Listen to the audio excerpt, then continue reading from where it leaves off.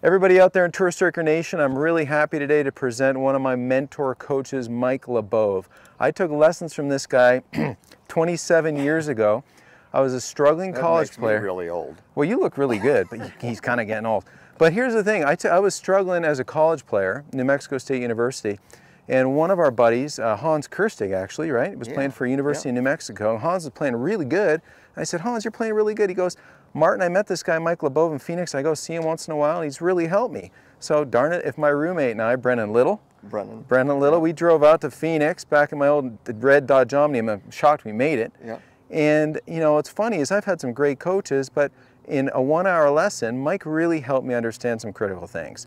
So back in the day, you know, let's just talk about that lesson. And you can't remember because you've Yeah. given a squillion, right? But I was I was the typical young guy, coach, who had the arm run off and had some bad face control. Yeah. So you helped me with kind of this connection. We hit a lot of wedges and you know, I felt like my hand path was kind of exiting more left. So why don't you share with the viewers out there what helped me so much?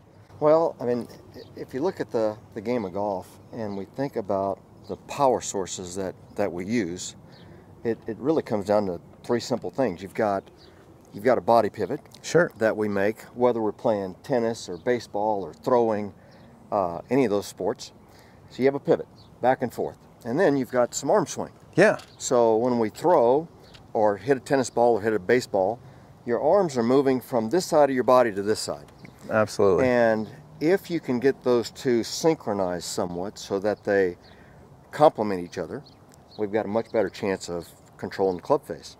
You've, you've also got this hand deal going on down at the bottom. So uh, a lot of times if you can get a, a student that really can feel the control of the club face, and sometimes, I don't know about you, but we have to do some things as simple as connecting the hands to the club head this close and showing them how uh, here's a, a closed club face. Lee Absolutely. Trevino does a good job of this, talking about how the back of the hand is the is the face. he hit pretty good. Yeah, and how, how, how the face. Some students come in with a club face like that. Some of them come in with it with it too closed. Most of them are too open. And and also uh, when we hit shots, some students that are hitting the ball too high that are hitting this way, or hitting this way. So just the relationship showing them the face and the back of their left hand is huge. Absolutely. And so, any of these sports that we talk about, you've got a coordination of your body pivot Mm-hmm. and your arms moving from side to side, and how your hands behave in concert with that. And going back to my situation, you know, and again, it was a million lessons ago with Mike, but in a simple, short period of time, he helped me get away from this kind of arm runoff where I really couldn't control the face through a sense of connection. And for me, it felt like my club path was exiting a little bit more left.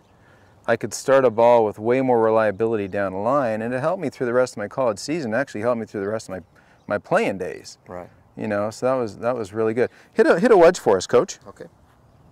I'll attempt.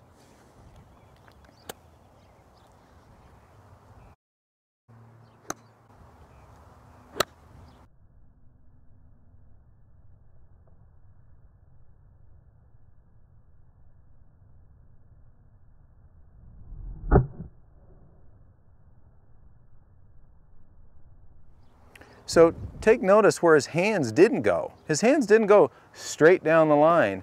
I can't tell how many amateurs come out to say that well, we just want to go straight down the line. Is the swing go straight, coach? Any sport that we play like that, even you think about tennis, hitting a tennis shot, the arms swing off to the left. Absolutely. Baseball swings off to the left. A uh, second baseman picking up a ball to throw goes off to the left while the ball's going straight. You know, and so that simple lesson, that wasn't crazy technical. He gave me that knowledge back 27 years ago and it helped me play better golf and I know it's going to help you play better golf.